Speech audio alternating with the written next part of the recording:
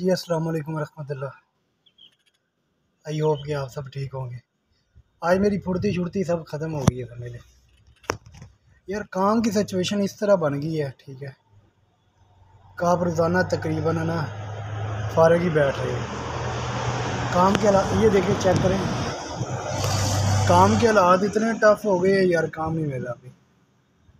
मैंने जितनों को मैसेज किया, एक बंदा वो मेरे गाँव का है, ठीक है। उसको दो जगह रखवाया था, उधर से तो वो भाग गया।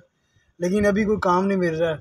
काम के इस तरह हालात है, यकीन एक बंगाली को फ़ोन किया, बंगाली बोलता है, भाई, अगर छोटा सा मेरे पास काम होता है, मेरे पास पंद्रह बीस आदमी है। कहते पता नहीं, पूरी दुनिया के बंदे इधर ही आ गए हैं।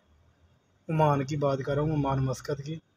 सलाला, सब एक ही, पूरे ओमान में यही हाल है। काम नहीं मिलता, बहुत हालात ख़राब है, ठीक है।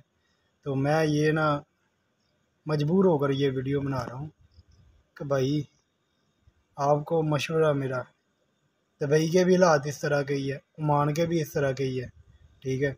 बहरीन के कुछ कुछ ठीक है इन दोनों से। और दूसरी ये बात कतर और सऊदी अरब, ये दोनों ठीक जा रहे तकरीबन। तो भाई सब के हालात जो है ना ख़राब ही है। तो खुदारा, आप सोचें, बाहर का ज़्यादा मत सोचें, ठीक है?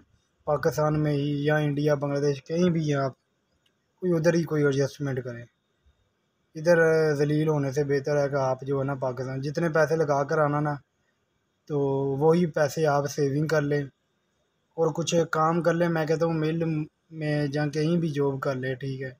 बस बाहर का जो है ना ठप्पा ही लगा होता है, कहती कि वो एक औरत है ना, वो ड्रामे की ड्रामे के अंदर कहती, लोग ये नहीं पूछते, बस दुबई का ठप्पा होना चाहिए, वो ही हिसाब हो गया, ठीक है।